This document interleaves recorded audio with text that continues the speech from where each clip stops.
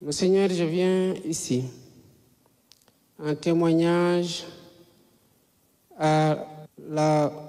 reconnaissance que j'ai pour la communauté catholique. Je viens ici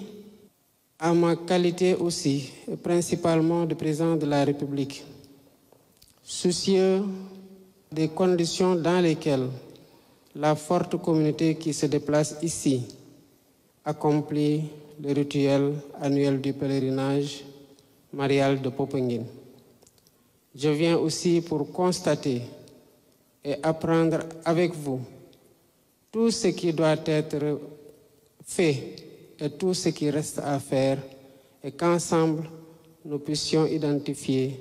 les priorités du moment et surtout les meilleurs délais de finalisation de ce formidable édifice. Monseigneur, je viens dans le contexte de la fête de Pentecôte, qui est une fête importante pour la communauté chrétienne du monde entier, mais qui, ici au Sénégal, donne l'occasion à la communauté catholique,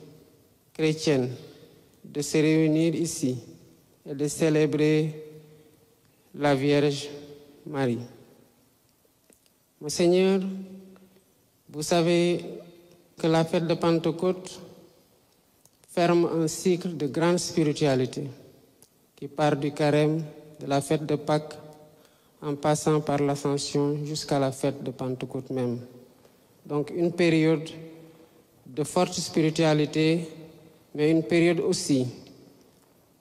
qui consacre au Sénégal un événement central où des milliers de fidèles viennent communier, où des milliers de fidèles viennent partager des moments de ferveur spirituelle et de solidarité qui sont essentiels pour le devenir de notre nation.